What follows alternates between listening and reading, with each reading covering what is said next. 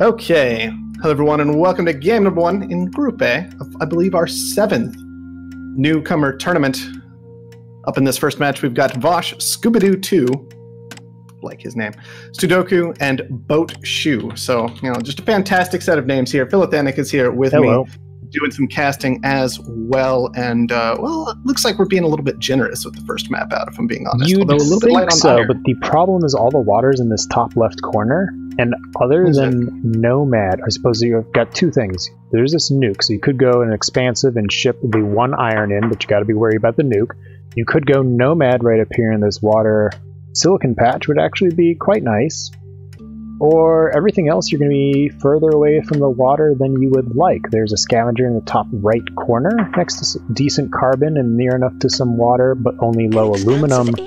So there's really nothing of like it's deceptively good looking. Now, Vosh is going to go Dry for the dry ice ice scavenger, which scavenger. normally is a ticket to losing, and I do not recommend it. I, I think this would also be one of those times, if I'm being honest. Scooby Doo 2 hasn't landed yet, but so far we've got two expansives and a scavenger. I like Boat Shoe's spot best, if I'm honest. You've still got access to good water, you've got access to some iron. I might have found it a little to the east myself, uh, considering there's geotherm over there. and Maybe we can use that. But overall, I mean, he should be in an okay spot to get something done this game. Right, yeah, overall decent decent location for Boatshoe, close enough to some water, has some iron adjacent in case he gets nuked next to a geotherm, so it could do something with geothermal borehole potent, potentially. Um, Steel did start at half, so his steel mills are off already.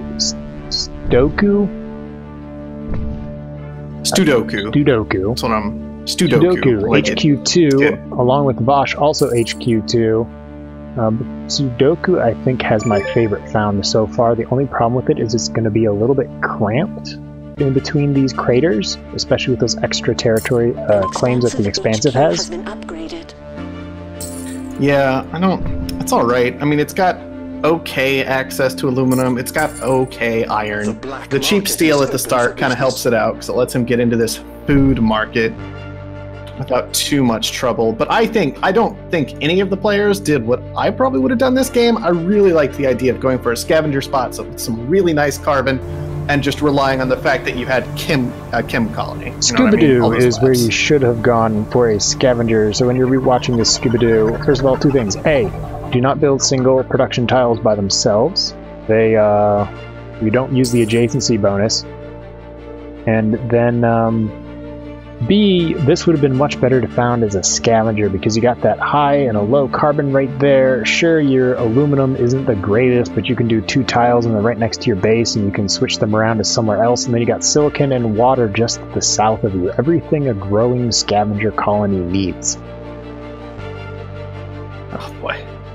This turned off high elemental quarry for Vosh. He's just working on these solar condensers, and we're about to encounter yet another reason why Dry Ice Scavenger is not a recommended thing to do because that dust storm is rolling in in about nine seconds. Yeah, the And when you spent four tiles on this, oh, that's going to be painful. the only time you can get away with a dry ice scavenger is when you're in a new players tournament and you're competing against black magic tiles from the scientist over here. I But still yeah, like this- Boat Shoe's spot overall, though. I mean, like, that's scary. That's still, that might be enough to take the Dry Ice Scavenger down, if I'm Yes. being honest. Yes, no. If Boat Shoes uh, already has more money than the Dry Ice Scavenger does. Um, actually has enough to upgrade if they want. So Upgrade, beating the Scavenger, that's never a place you want to be as a Scavenger. Vosh needs another math on stream. 5k for the upgrade. Extra claim auction going to 28,000 to S- Sudoku. I want to say Sudoku, alright. but that's not correct. But it's Stu Doku. 32 is a bit high. It is, but you It's can not kind terrible. of absorb it this time. It's not terrible. The, the downside is it kind of locks you out of that potential power market in some ways anytime soon, which is often something you want to watch out for in these kind of new player situations. But bright side, Vosh is spending almost no power. I would Uh, say that going Scooby-Doo is spending almost no power, you know. for the geotherm early would have been a bad plan, but the geotherm only costs 4k, so Boat Shoe still has the upgrade to HQ3 once they realize they have enough cash. There we go. Well, the best thing First ever for HQ3. Boatshoe was that uh, that water shortage. Although I don't think he got the benefit off of it. Um, I'd imagine it was probably Vosh who pulled that off, given that he has almost no water in storage right now. But it would have given him a nice little little leap ahead either way, though. Both these players going to be headed to three. Scooby-Doo has The gotten scavenger two, HQ so that's that's been upgraded. Scooby-Doo. that is a good step in the right direction. Scooby-Doo's still at HQ1. Oh, is he? Oh, no, he is at one. I was seeing his cash. No, that's, that's Yes. fair. Studoku I expected it to is be at two by now. two. And Sudoku is at two. No, you're Could go to absolutely right. But you can HQ3 see the big problem with these black magic tiles that require inputs. It's just ugh. Yeah, the Black Magic Killer. tile, if you're not familiar, is the Artosis pylon of Offworld Trading Company. It's one production building by itself without adjacency bonus. Two, pro- two production buildings next to each other of the same type gives a 50% bonus to each building, so that's three of HQ has individual tiles worth of production for only two tiles worth of input. It's very good to use adjacency bonuses. Yep. Or 5.25 if you have a full triangle, as we're going to see out of a boat shoe in just a moment here. He's also got a patent lab coming up. Nothing queued up for that just yet, but we'll see what he does with it in just a moment. He has plenty of cash for this, that's for sure. So I'm kind of curious what he's gonna what he's gonna be up to. Yeah, Boatshoe definitely coming in a good situation. Like to see Boatshoe buy a Goon Squad, place it on top of this patent lab because we do have plenty of offensive black market items there. Wouldn't want Vosh interfering or Studoku interfering with the plan for the patents, but when you do build a patent lab, you do need to have a plan. Okay, teleportation is going on. Teleportation is one of those patents that new players overvalue. Yeah. Usually, It's very good. it is good. It's just not quite as good as a lot of newer players think it is. That said, because because newer players don't value as heavily the idea of being able to rotate buildings and putting them next to your base, they often end up with more tiles away from your base, and then that increases the value of teleportation, and you know, things get interesting. The Pleasure Dome should be nice and valuable this game, by the way. Yes, the best default patent in many players' opinion, if you don't know what to take, is nanotechnology. If you don't So know what good. to take, nano is always a good choice because it allows you to get back the construction materials when you are rotating buildings. So if you find yourself in this situation where you're like, I built a patent lab, what patent lab should I get? Nanotech's a good default to start out with because you can't go wrong with it, no matter what the situation is. Yeah, nanotech is absolutely fine. Kind of also up there is often carbon scrubbing, just because that peace of mind of not having to worry about carbon if you don't absolutely have to. That was actually worth it for Scuba Doo in like every way imaginable. Yes, Scooby Doo need for that all the income that they need just to get into this game. They need 12k for the upgrade, have 9k, so they're slowly getting there. Need to put up. I mean, the Pleasure Dome's going to rocket them there almost immediately at 250 per second, you know? The only problem is there'll be an HQ2 while Boat Shoe right here should be having a very strong opening. HQ4. Uh, both Studoku and Vosh need to use some of this cash they have to attack Boat Shoe here with the black market. 3k EMPs, 2k slowdown strikes, 2k dynamites. There's plenty of op- options that you could attack Boat Shoe with. Underground nukes. Just, I love the. I mean, I really think that a strong move earlier this game would have been to nuke out some of Boatshoe's aluminum. He was relying on these close aluminum tiles. They're not the best nukes in the world, but that's where a lot of his straight cash has been coming from is this excess flow of aluminum that he's had this entire time. And aluminum stayed very valuable simply because uh, Sudoku's been moving through upgrades and he didn't take it for a while. And it was the same situation with Vosh. I don't believe Vosh picked it up until HQ3. All so right. all those things combined meant it was a nice market for boat shoe. So boat shoe doing lots of good things until right then and there, using the uh, what was it?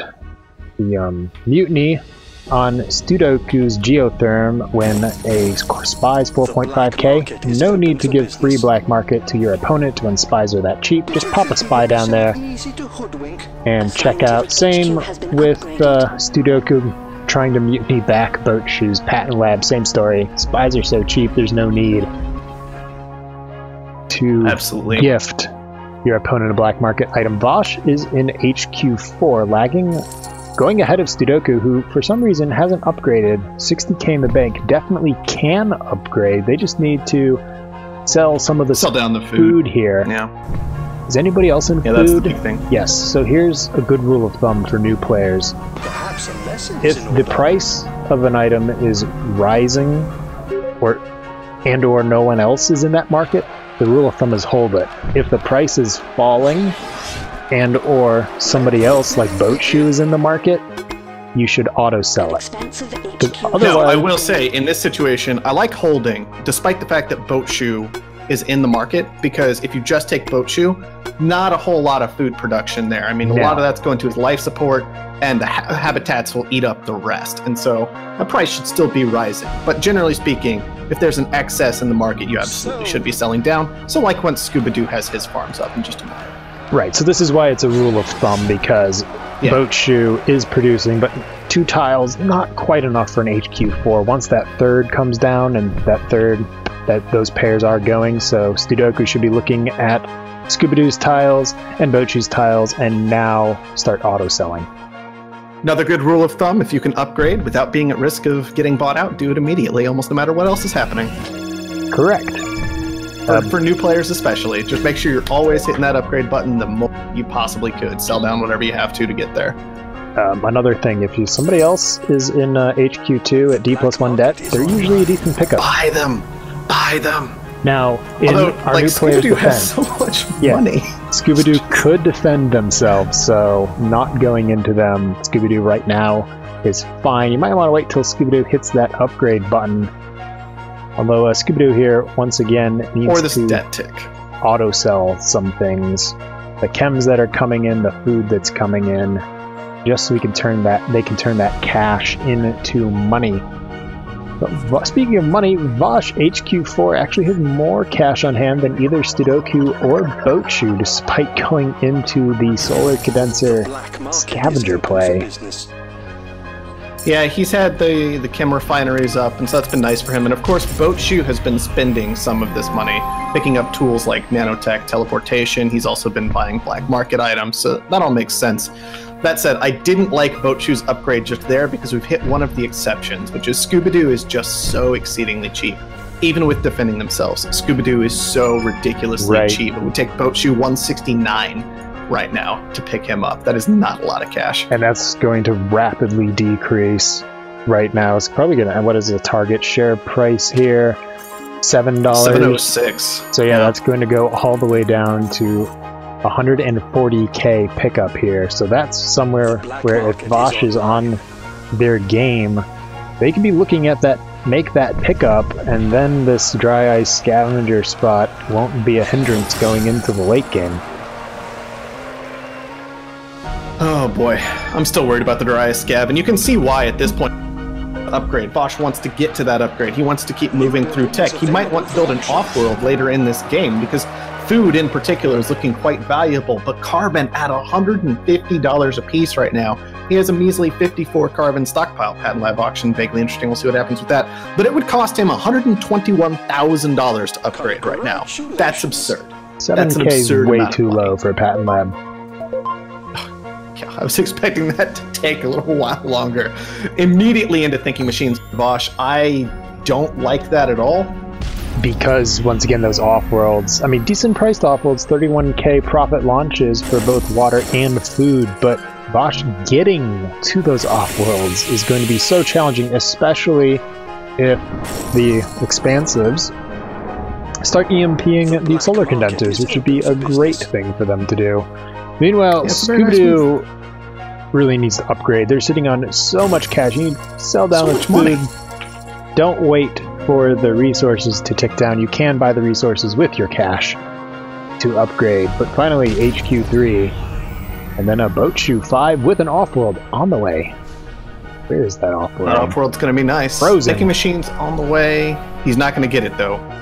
Vosh with the defended patent lab, he does pick up thinking machines ahead of time. Yep, frozen off-world at zero percent. Seven seconds till that gets started again. Come on, Scooby Doo, upgrade. So this is when this is when Scooby Doo starts really falling out of things. In just a Right, D here. plus three interest tick right here. That's sixty-seven thousand dollars of interest. The new target share price is six nine six eighty-eight. It just went down again. Yep. So Under right, seven dollars. right here, boat shoe. The heads-up play it would be to cancel this off-world and put that Mhm. money towards picking up Scooby-Doo. Yeah, you can get so Now, much secured Vosh, there. the Although Vosh, Is going to make Boatshoe not think about that, and it's understandable why Boatshoe may no longer think about that option. yeah, I'm kind of curious. Hmm. Studoku, who we haven't talked about recently, is a HQ4 Financial instruments. well. Needs 107. Wait, look. Sorry, looking at Vosh. Sorry, Studoku only needs 68k to upgrade. I'm like, that's a little bit high. 107. Uh, that isn't in any steel. high, but it's still Vosh's situation, which is really not good. Yeah, I mean, you could go without steel for such a long time this game. Studoku started out with a couple of the steel mills, but he was willing to rotate out of them. But we're kind of past that phase of the game. I mean, the scientist isn't making steel at all. Boatshoe hasn't gone completely excessive with the steel production. Plus, he's moving into off-worlds and has one up already. Launching water, strangely enough. That is the profitable launch right now, $40 water. And so you just have to get that steel down at some point. Right, and this is one of those good places where we can illustrate one of those concepts in Offworld that's kind of hard to pick out until someone points it out to you. Is the hidden price of steel after the upgrade? Look at that price jump in the graph there. So yeah, steel wasn't that good before Studoku bought, but the reason why you produce it is because otherwise, after you upgrade, it's going to become really good. 71 for dollars a second for an unoptimi- unadjacent steel mill, 138 with adjacency. That's money that Studoku potentially fed into Boatshoe's hands, except Into that Boatshoe's Boatshoe. going straight in the double off world, so it doesn't matter. Yeah, if Boatshoe, I mean, even with that, the double, that's 400 steel that he's sunk into there. That's a fair amount of steel, but he's had, he's actually had quite a lot saved away. Especially considering that he's had nanotech this whole time, so that he's had even this small bit of steel production has been has been quite enough for Boatshoe to get his work done. And you're all right; it's one of those things that's kind of difficult to understand.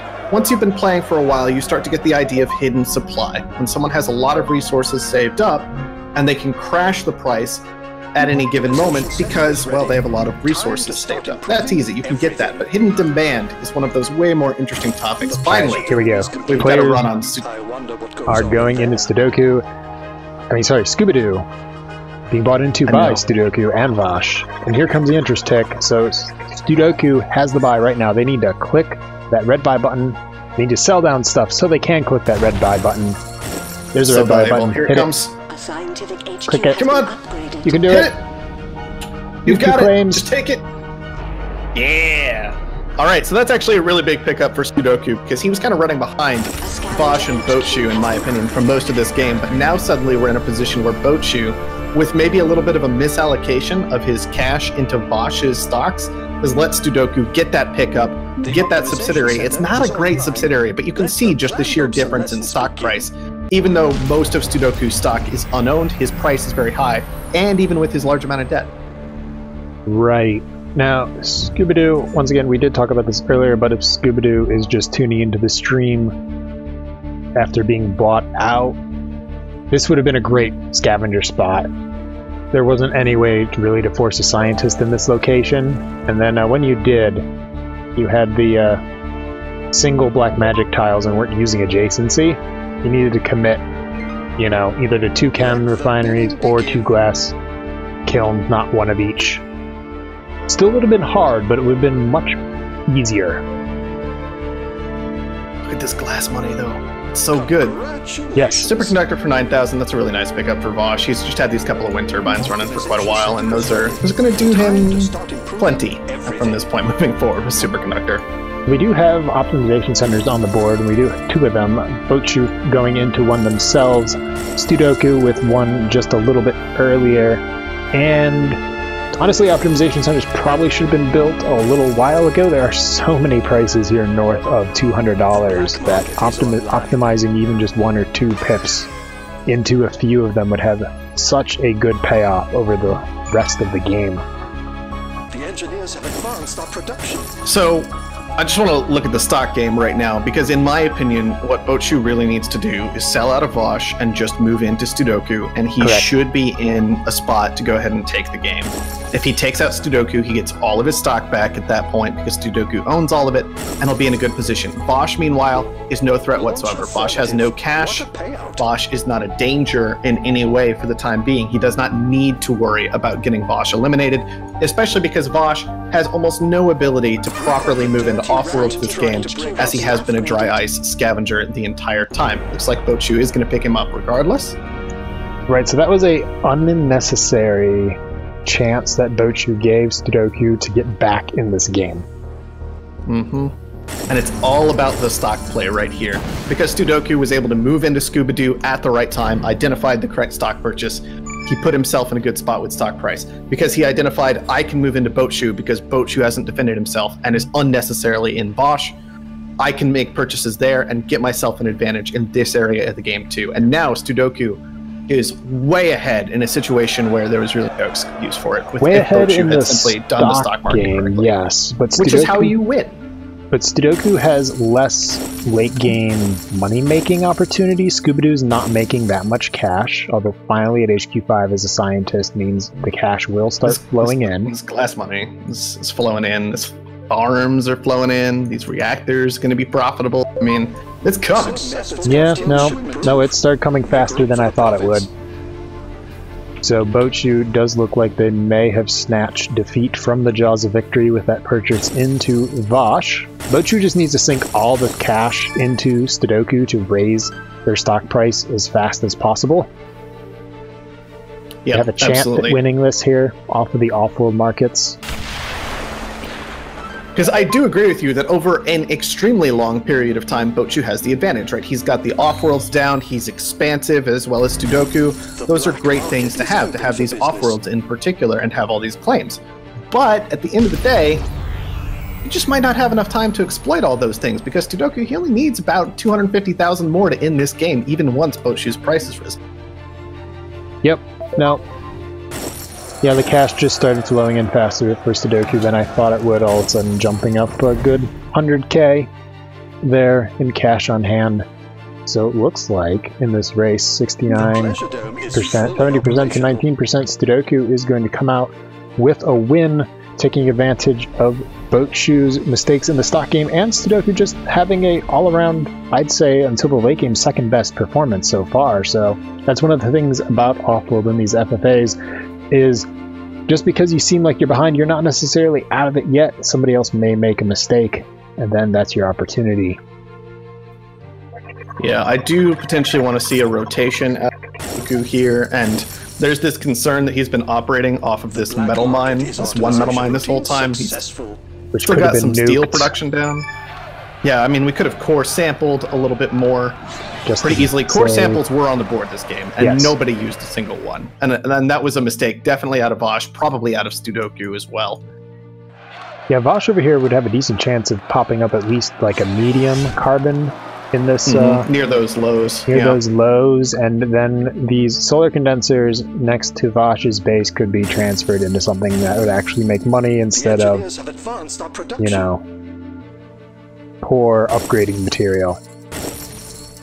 Yeah, yeah. The the solar condensers, after a long time, they're just killer. Having to rely on them for so so long, you're not going to get the work done. It is turning out to be very close over here in the race. I mean, Boatshoe even extends it just a little bit further by getting that one free stock that was left in Scuba Doo.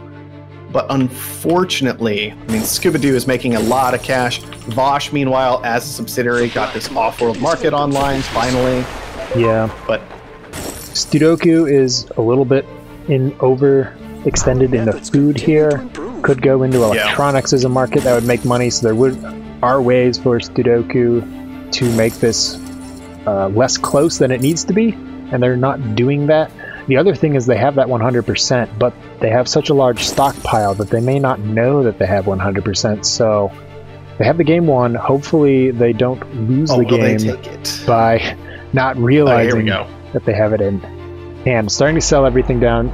Studoku takes the buy, a well-earned victory over Boatshoe. Boatshoe playing well, quite well also. Always good to see these New players play well in these games. Room for improvement across the board.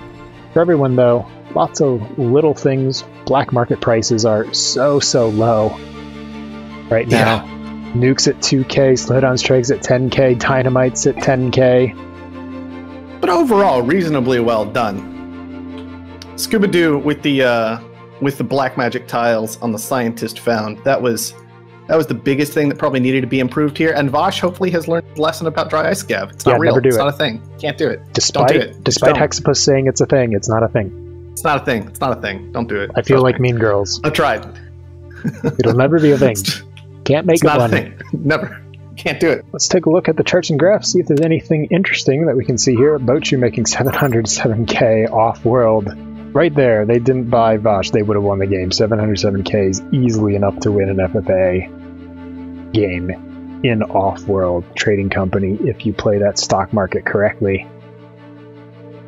Yeah, yeah, absolutely. And it was just it was just purely good. And I understand what happened with Boat Shoe was looking like the dangerous one for a while. On top of that, Vosh kind of poked the bear and was like, I'm gonna I'm gonna buy some of Boat Shoe stock. Oh, never mind. The Boat Shoe was laser focused from that point forward. And unfortunately, being laser focused to the point where you get tunnel vision from uh, everything else, that can that can be your demise pretty easily in an FFA game. Yeah, and to be to be fair to Boatshoe, while the AI in off-world's pretty decent, the stock game is not one of those areas where the AI is decent at all.